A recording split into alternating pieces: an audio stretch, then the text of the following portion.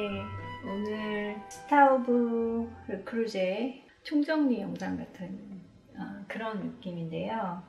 어떤 장단점이 있었는지 이런 거를 한번 정리하는 영상을 찍고 싶었어요. 지금 르크루제랑 스타우브 제품들이 다 섞여 있거든요. 어, 하나하나 보여드리면서 아, 설명을 좀 해드려 볼게요. 얘네들은 한 2년 정도에 걸쳐서 한 두세 달에 하나 정도씩 네, 구입을 했던 것 같아요. 전부 다 세일할 때마다 구입한 것들이기 때문에 정가를 주고 구입한 제품은 없어요. 어, 제가 뭐 5년, 10년을 사용한 건 아니지만 그래도 어느 정도 요리에 사용해 보면서 어떤 점들을 느꼈는지 여러분께 그래도 말씀드릴 것이 몇 가지는 있을 것 같아서 오늘 시간을 좀 내봤거든요. 총 11가지 제품이고요.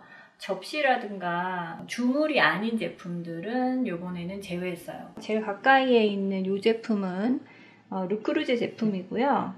어, 라운드 Dutch oven입니다. matte cotton이라는 컬러인데요. 어, 거의 화이트에 가까운 아이보리라고 보시면 되고 얘는 이제 matte 컬러예요. matte 컬러는 광택이 없는 기존 제품에 비해서는 광, 광택이 거의 없다고 보시면 돼요. 옆에 거랑 비교가 좀 되실지 모르겠는데 제가 이렇게 육안으로 보면 훨씬 광택이 없고 matte하거든요. 근데 영상을 찍어 보면 화면에서는 은은하게 광택이 약간 보이는 편이에요. 거의 아주 약한 새틴 정도의 느낌으로 보시면 될 것 같아요. 그래서 요거는 제가 제일 처음으로 구입했던 Dutch oven인데요. 르크루제 제품이고 손잡이는 이제 메탈로 되어 있는 손잡이에요.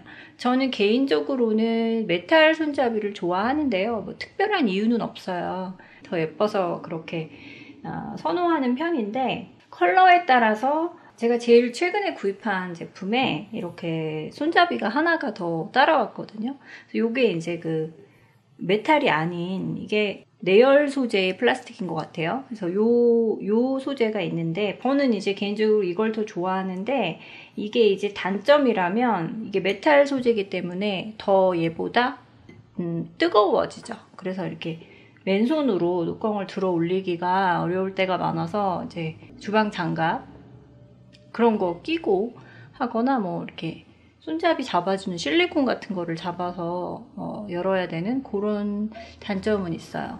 바느질을 하셔가지고 커버를 만드시는 분들도 있고 뜨개질로 커버를 만드시는 분도 있는데 개인적으로는 나중에 뭐 가죽으로 어, 이 커버를 만들어 볼까 생각은 하고 있는데 아직은 그냥 행주 같은 거를 덮어서 열고 닫고 뭐 이런 식으로 사용하고 있어요. 그래서 이렇게 어, 여기 보시면 그 일자 드라이버로 돌려서 바꿔 낄 수 있기 때문에 이런 걸로 바꾸셔도 되죠.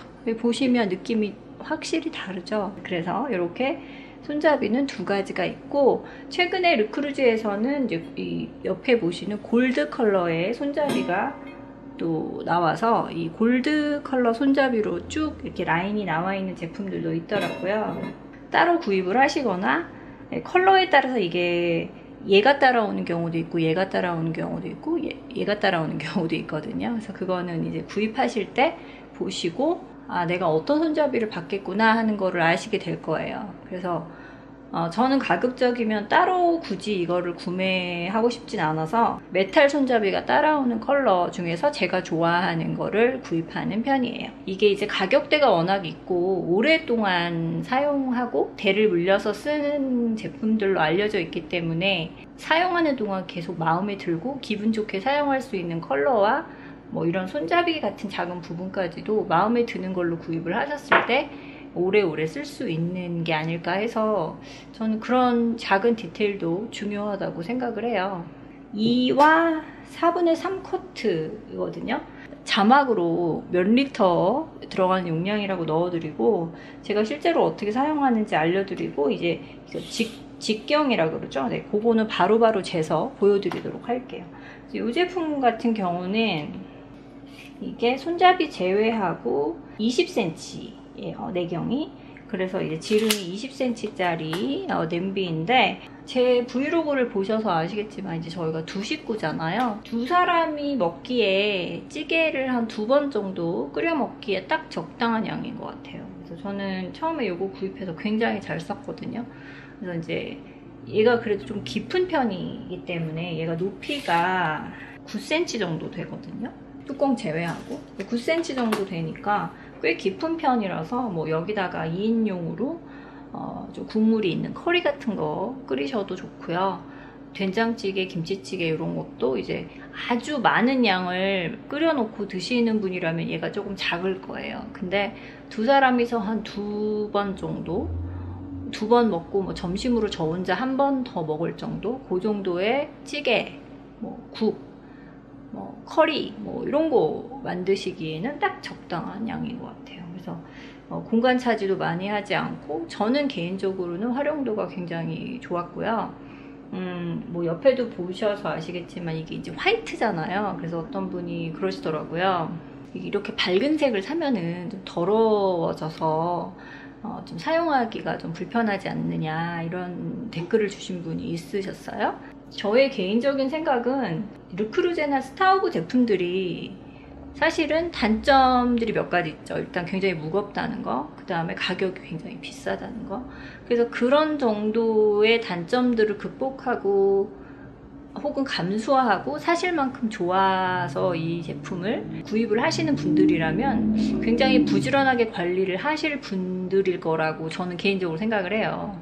저는 오히려 색깔이 밝으니까 이게 뭐가 국물이 튀거나 더러움이 묻어도 더 잘 보여서 더 잘 닦고 여기 보면 이제 제가 검정을 보여드릴 텐데 검정이라고 해서 또 안 보이는 것도 아니에요. 왜냐면 음식이 검정이 아니잖아요. 그러니까 어떤 컬러를 구입해도 뭐그 르크루제의 시그니처 컬러가 이제 flame 컬러라고 해서 약간 붉은 빛이 도는 주황색인데 그런 거는 이제 약간 빨간 국물이나 된장 국물 같은 거가 묻으면 좀 덜 보이겠죠? 근데 그렇다고 해서 음식이 이런 손잡이에 묻은 게 안 보이는 건 아니에요. 우리 사람의 눈이라는 게 굉장히 예민하잖아요. 그래서 저는 개인적으로는 컬러에 크게 구애받지 않으셨으면 좋겠어요. 자기가 좋아하는 컬러를 오래오래 기분 좋게 예쁘게 쓰는 게 그만한 가격과 비용, 그 비용과 뭐 이런 걸 들여서 사용할 만한 가치가 있는 거라고 생각하기 때문에 때가 탈까봐 어두운 색을 일부러 구입하거나 이런 거를 권하고 싶지는 않아요. 그래서 제가 화이트가 많은 것 같기도 해요. 바닥은 아무래도 살짝 더러움이 타요. 그래서 이렇게 약간 얼룩 같은 게 보이시죠? 근데 이런 것도 한번 날 잡아서 싹 닦아주면 좋고 아 여기 용량이 나오네요. 2.4리터 어, 직경 20cm에 2.4리터 용량이고요. 찌개나 국을 몇 리터라고 설명을 드리면 솔직히 별로 감이 안 오시지 않아요? 저는 그렇던데. 그래서 아까 제가 말씀드린 것처럼 두 식구가 한 두 번, 두 번 반 정도 찌개나 국 혹은 뭐 커리 같은 거 끓여서 드시기에 딱 적당한 양이라서 저는 어, 유용하게 잘 쓰고 있어요.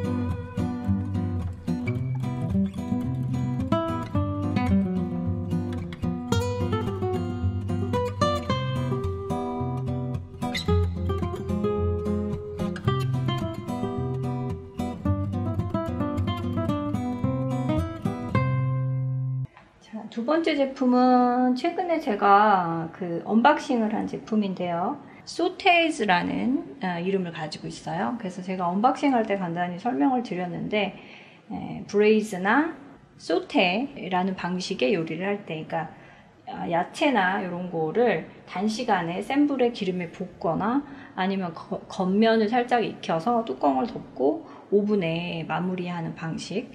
그래서 이게 생긴 것도 보면 갈비찜이나 뭐 찜닭 뭐 이런 거 만들기에 좋은 그런 느낌이고요.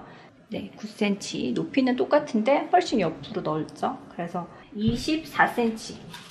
직경이 24cm고 여기 써있죠. 네, 직경이 24cm고요.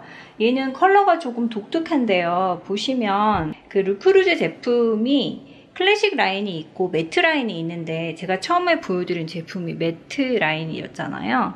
클래식 라인은 그 모든 컬러가 투톤이 돌아요. 이렇게 가에 부분은 컬러가 진하다가 안쪽으로 들어갈수록 컬러가 연해지는 투톤을 말하거든요. 그러니까 이게 르크루제의 모든 클래식 컬러는 전부 다 이렇게 투톤으로 광택이 있으면서 이렇게 마감이 되어 있어요. 아까 보여드린 것처럼 이런 matte 컬러는 광택도 없고 투톤도 없어요. 그래서 더 깔끔하죠. 그러니까 저는 개인적으로는 이거를 더 좋아하는데 그거는 이제 취향 차이시겠죠. 근데 얘는 광택이 있으면서도 투톤이 없으니까 약간 이제 이게 Crate and Barrel에서 구입했는데 그 Crate and Barrel을 위해서 나온 약간 exclusive 컬러인 것 같아요.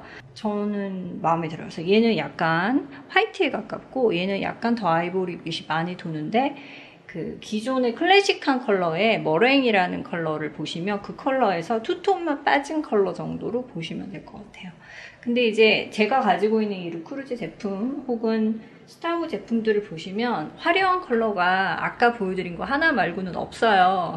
그래서 어 뭐 초록색도 구입하시고 이렇게 좀 빨강도 구입하시고 이런 분들이 많은데 저는 좀 가지고 있는 컬러들이 심심해서 컬러를 보시는 재미보다는 어떻게 사용하는지 이런 거 중점으로 영상을 봐주시면 감사할 것 같아요.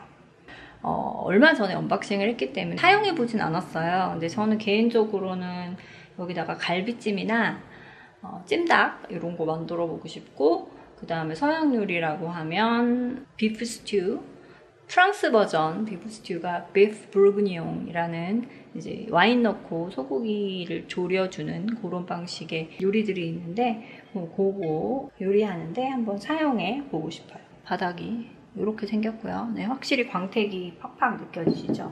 르크루제 제품들은 이 프라이팬을 제외하고 이 르크루제의 Dutch oven들은 다 안에가 glossy하게 그렇죠. 에나멜 코팅이 되어 있어요. 네, 사용상에 조심하실 점이 있어요. 일단 메탈 예, 조리 도구들 사용하시면 안 되고 그러니까 나무로 된 거나 플라스틱 혹은 실리콘으로 된 거 사용하시면 되고요. 제가 몇 가지를 좀 가져와 볼게요. 찾아봤는데 뭐 요 정도.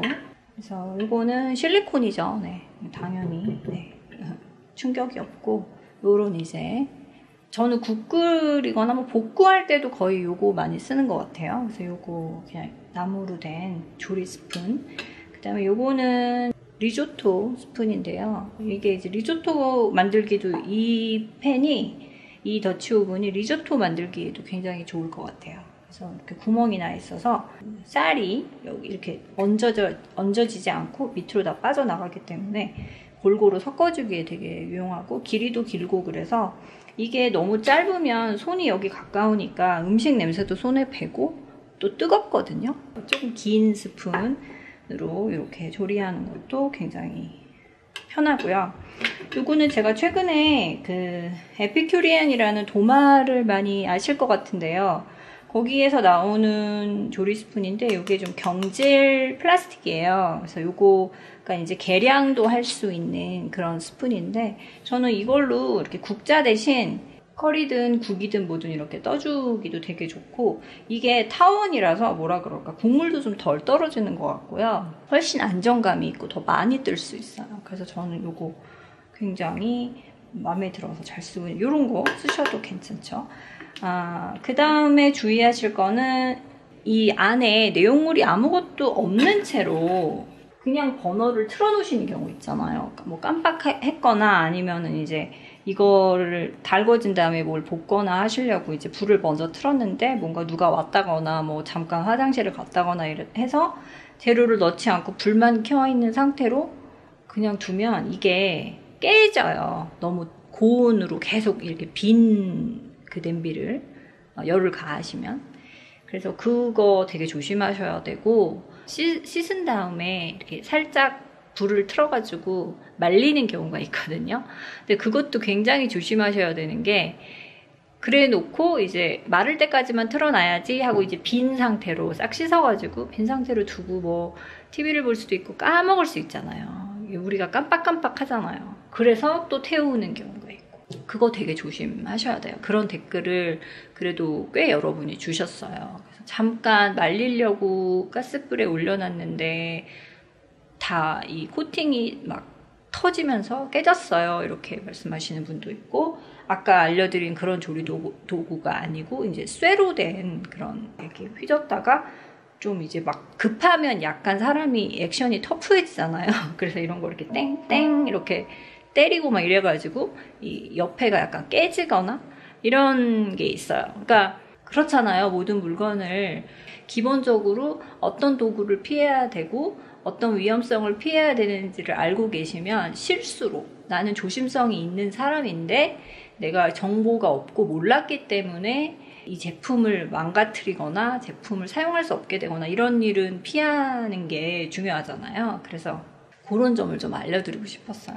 오래오래 쓰고 싶어서 이 무거운, 비싸고 무거운 제품들을 구입하셨을 텐데 이왕이면 깔끔하고 예쁘게 기분 좋게 오래오래 쓰는 게 우리 다 같은 마음일 것 같아서 좀 세세한 부분까지 제가 좀 설명을 해드리고 싶어서 어, 그거를 좀 말씀을 드렸고요.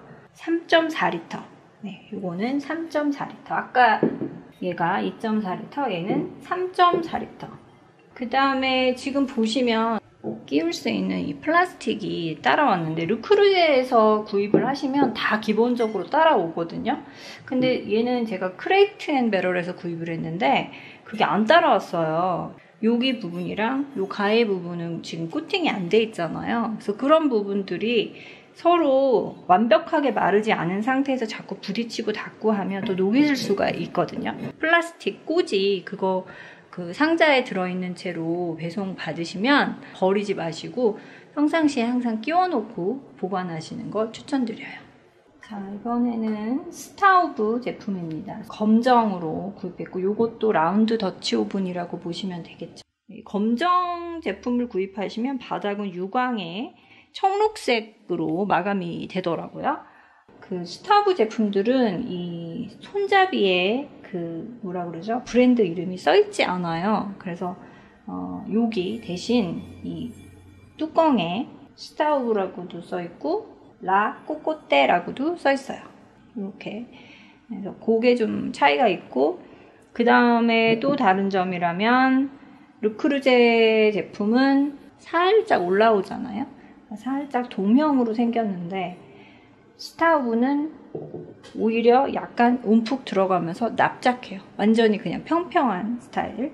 안쪽을 보시면 또 완전 달라요. 안쪽을 보시면 네, 이렇게 차이가 있죠. 어, 얘는 그냥 맨들맨들한 네, 맨들맨들한 아무것도 없는 어, 뚜껑이고 이 스타우브는 안쪽에 이렇게 돌기가 돌기가 다다다다닥 있어요. 그래서 여기에 물방울이 맺혀서 어, 이제 음식에서 올라오는 수분이 이 돌기에 물방울이 맺혀서 다시 떨어져서 수분 손실을 줄여주는 비밀이 숨어 있다고 해요.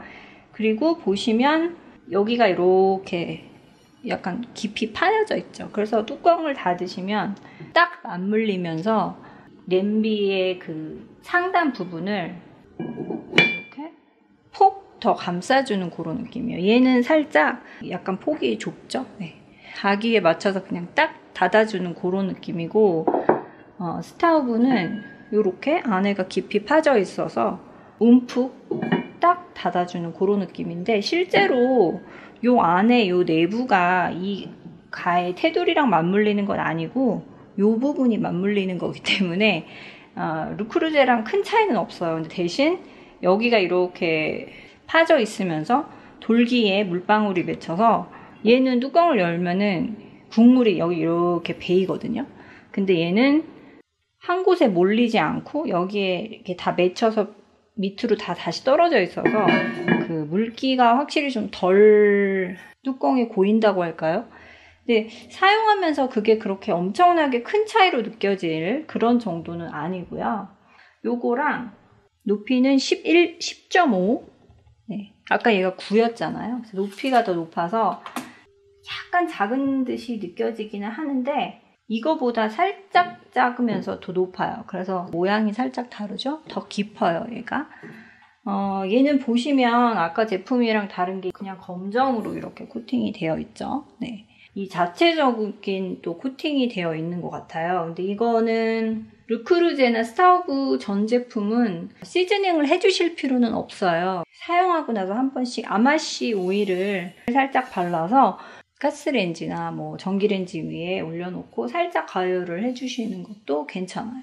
이, 얘 같은 경우는 사실 후라이팬으로 쓰시는 게 아니라, 물론 여기서 볶음을 하다가 뭐, 국물을 붓고 스튜를 만드실 수도 있고 뭐 그렇겠지만 그래도 국물이 있는 요리로 주로 쓰시기 때문에 아까 제가 말씀드린 것처럼 한 번씩 아마시 오일을 얇게 바르셔서 그런 정도로 해주시면 좋을 것 같고 이거는 matte black이었던 것 같아요. 앞으로 보여드릴 제품들 중에는 어, 광택이 또 있는 제품도 있으니까 그때 같이 보여드리도록 할게요. 그래서 스타우브는 이렇게 손잡이에 스타우브라고 써있고 르크루제는 손잡이에는 써있지를 않고 뚜껑 손잡이하고 뚜껑에만 한 번 이렇게 써있는 그런 차이가 좀 있고요.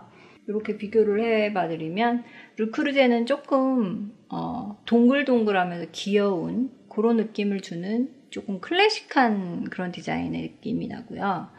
어, 스타우브는 MB 자체는 원형이지만 전체적인 느낌이 되게 납작하고 깔끔하고 플랫하고 평평하고 이래서 조금 더 모던한 느낌을 주는 것 같아요. 기본적인 디자인적인 차이가 좀 있고요. 제 개인적으로는 한국에서 르크루제보다는 스타우브가 조금 더 인기가 많지 않나 그렇게 개인적으로 생각을 하는데 네, 저는 둘 다 좋아요. 뚜껑까지 주물로 된 아이들은 거의 다 저는 르크루제로 구입을 한 것 같아요.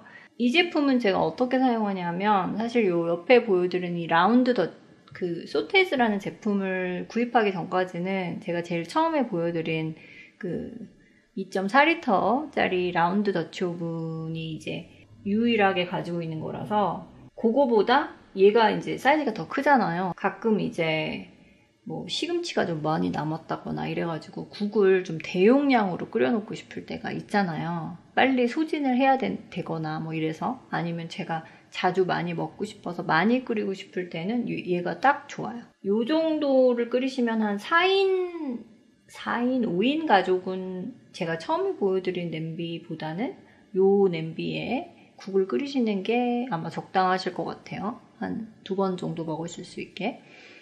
그 다음에 저 첫 번째 거는 이제 4인 가족이 그냥 한 끼 맛있게 찌개 넷이서 먹을 수 있는 그런 정도의 양이 아닐까? 아, 저는 개인적으로 그렇게 생각하는데 여기다가 저는 이제 그렇게 좀 양을 많이 끓이는 국 냄비로도 쓰고 리조토 같은 거 만들 때 예, 얘가 이제 그 첫 번째 제품보다는 얘가 넓잖아요. 그리고 이제 좀 뭘 기름을 두르고 볶다가 물을 붓고 끓이고 하는 거는 에나멜 코팅보다는 요, 요런 코팅으로 된 애들이 조금 더, 더 잘 볶아진다고 해야 되나? 네, 그런 느낌도 있고 약간 더 프라이팬 같은 느낌이 들잖아요. 검은색 코팅은. 근데 얘는 이제 에나멜 화이트 코팅이니까 안 볶아지는 건 아닌데 왠지 느낌이 이 프라이팬 느낌이 나는 요 그 바닥 재질이 더 잘 볶아지는 느낌이 들어서 볶다가 요리를 하는 그런 그런 메뉴들은 여기에 좀 더 많이 했던 것 같아요. 그래서 리조또 같은 경우도 쌀을 볶다가 이제 물을 붓고 끓이잖아요. 리조또 같은 것도 여기다가 했었던 것 같아요. 근데 이제 이번에는 이거 소태지를 구입을 했으니까 그렇게 볶다가 물을 붓고 끓이는 것도 여기다가 좀 해볼 생각이에요. 얘가 좀 더 넓고 얕으니까. 얘는 조금 깊은 건 있어요. 그래서 국에 조금 더 어울리는 그런 차이가 있고요.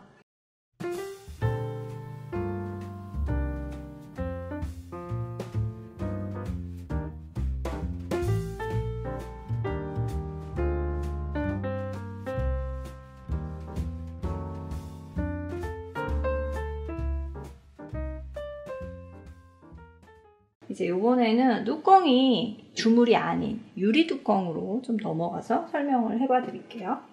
뚜껑이 유리로 되어 있는 애들은 가격이 훨씬 저렴해지고 또 다른 장점이라고 하면 가볍죠.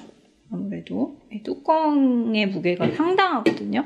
그래서 이 뚜껑까지 되어 있는 거는 이제 뭐 오븐에도 자유롭게 온도 구애받지 않고 넣을 수 있고 또 그만큼 무거운 만큼 압력을 더해주니까 요리가 더 아주 잘 되는 그런 장점이 있지만 오븐에 넣을 필요가 없는 요리를 한다거나 그 다음에 얘도 아마 어느 정도까지는 오븐에서 견딜 거예요. 그러니까 이 주물 뚜껑이 견디는 온도만큼 못 견딜 뿐이지 요것도 오븐에 넣을 전혀 넣을 수 없는 건 아니거든요. 호일 같은 거로 이렇게 덮어서 넣으셔도 되고 뭐 그러기 때문에 방법이 전혀 없는 건 아니죠.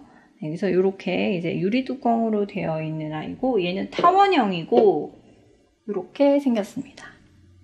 네. 어, 이 아이는요, 닭 한 마리가 이렇게 퐁당 들어갈 수 있는 그런 정도의 느낌이에요. 9cm. 그러니까 아까 처음에 르크루제 두 개 보셨잖아요. 매트 코튼이랑 그 크림색 그 두 개랑 똑같아요. 얘는 살짝 높고요. 대신 이제 타원형이라서 이게 넓죠. 백숙 같은 거 그런 거 만드셔도 좋을 것 같아요. 이, 여기도 여기다가 하셔도 좋고 여기다가 하셔도 좋겠죠. 네. 근데 저는 여기다가는 뭐 했었냐면은 돼지고기 이렇게 좀 덩어리로 큰 거 넣고서 김치찜 같은 거 많이 했었거든요. 이게 타원형이라서 뭔가 좀 옴팍하게 음식이 되게 많이 들어가는 그런 느낌이 있고 사코트 사코트면 한 3.8리터 정도 보시면 되거든요. 22cm에 29. 네. 음, 근데 이제 요게 차이가 있어요. 이 제품은요. 이렇게 만져보시면 얘는 조금 더 부드럽거든요. 얘는 약간 조금 더 거칠거칠한 느낌이 있어요. 이게 그 제품의 설명을 이렇게 자세히 디테일 부분을 좀 읽어보면 거기 이렇게 나와 있더라고요. browning이 더 잘 되도록 일부러 코팅을 좀 거칠게 마감을 했다는 거예요. 그 말은 이제 고기 표면을 약간 노릇노릇하게 browning을 한 다음에 뭐 국물이나 와인이나 이런 걸 붓고 졸여주는 요리를 할 때 조금 더 노릇노릇하게 잘 구워질 수 있도록 이 표면을 조금 거칠게 마감을 했다는 거죠. 프라이팬이 아니고 냄비지만 약간 프라이팬처럼 노릇노릇하게 잘 볶아지도록 내부 코팅이 그렇게 돼 있다는 거. 그래서 만져보시고 이게 왜 약간 거칠거칠하지? 라는 느낌이 드시면 그거는 그래서 그런 거예요. 그 수육, 김치찜 이런 거를 자주 해서 드시는 분들도 계시겠지만 예, 저희는 날 잡아서 한 번씩 하는 그런 요리에 속하기 때문에 사실 그렇게 자주 쓰지는 않았던 것 같아요. 근데 이게 냄비가 되게 작고 그러면 요리하면서 되게 답답하잖아요. 근데 그럴 염려 없이 시원하게 한솥 끓일 수 있는 네, 그런 느낌을 주는 모양도 굉장히 독특하고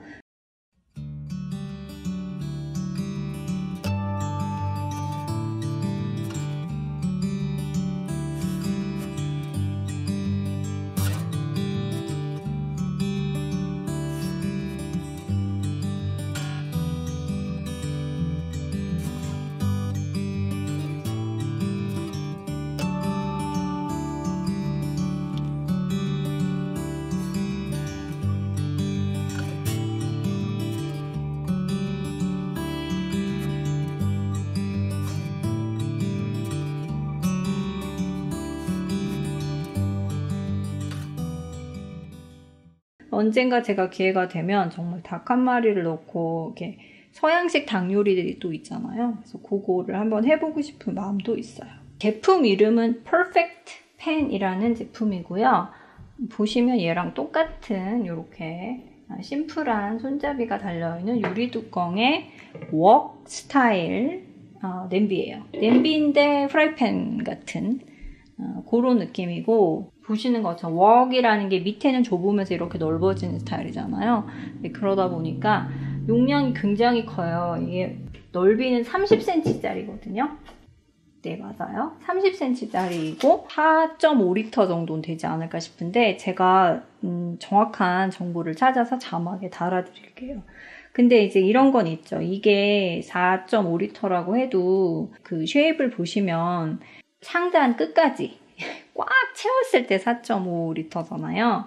근데 이제 얘는 밑으로 갈수록 급격하게 폭이 좁아지기 때문에 한 요 정도만 채운다고 하면 그렇게 많은 양을 여기다 담을 수는 없을 것 같아요. 그래서 이거는 사실 국물을 많이 넣고 뭘 막 끓이는 그런 조리 방법보다는 이렇게 볶는 쪽으로 많이 쓰거든요. 근데 이제 또 이런 거 있어요. 웍이라고 하면 약간 중국 요리 생각하시잖아요. 그리고 손잡이가 한쪽에만 달려 있고 그 빠른 시간에 고온의 기름에 이렇게 재료들을 볶아내서 뭐 양념도 하고 그래서 이렇게 화르륵 요리를 만들어서 내는 그런 요리 방식에 많이 쓰는 건데 사실 얘는 무게가 워낙 무겁기 때문에 뭐 이거를 한 손으로 들고 이렇게 이렇게 하면서 볶을 수 있는 그런 아이는 아니잖아요. 그래서 얘는 그냥 안정감 있게 이렇게 두고 아까 제가 보여드린 이런 이제 스푼으로 이렇게 시원하게 볶아주는 그런 걸로 많이 썼던 것 같아요. 두 사람이 먹기에는 굉장히 사이즈가 크죠? 아주 사이즈가 훨씬 작은 baby wok 스타일로 이렇게 유리뚜껑이 달린 애가 있을 거예요. 근데 그거는 또 거의 이렇게 테이블에 바로 올려놓고 먹을 수 있을 만큼 되게 귀엽게 생긴 서빙 하는 거에 더 예쁘게 사용하실 수 있는 그런 스타일이고 얘는 이제 테이블에 바로 직접 갖다 놓고 먹기에는 너무 크죠.